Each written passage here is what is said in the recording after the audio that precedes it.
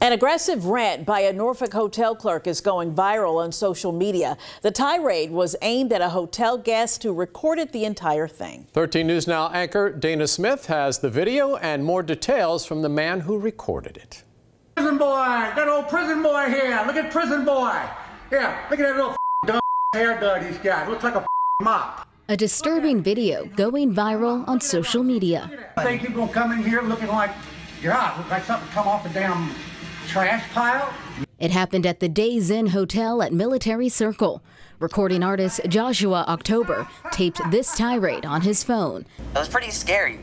It was, it was a pretty scary situation, you know. Uh, my anxiety was kicking in. October, whose real name is Christopher Auger, says he took a yogurt out of the guest breakfast room. The hotel clerk demanded he put it back. October refused. You're gonna go viral. You're gonna lose your job. I, right? You're Son, gonna lose I your don't job. care. You're gonna lose your job. You think I'm worried about this job? You're gonna lose your Do job. you really think I care about this job? October posted the video on Facebook and Instagram, and within hours, it had racked up thousands of views. He ain't nothing to me. He's nothing. He's always been nothing. He'll always be nothing. Look at him. Mind you, he You doesn't even know who I am. He don't know who I am.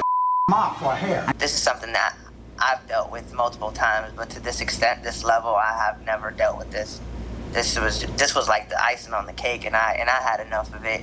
Reach for comment, Wyndham Hotels and Resorts called the clerk's actions deeply troubling. Wyndham said in a statement the hotel clerk no longer works there, and October will receive a full refund along with additional compensation. I just want him to, you know, be able to learn a lesson. In Norfolk, Dana Smith, 13 News Now.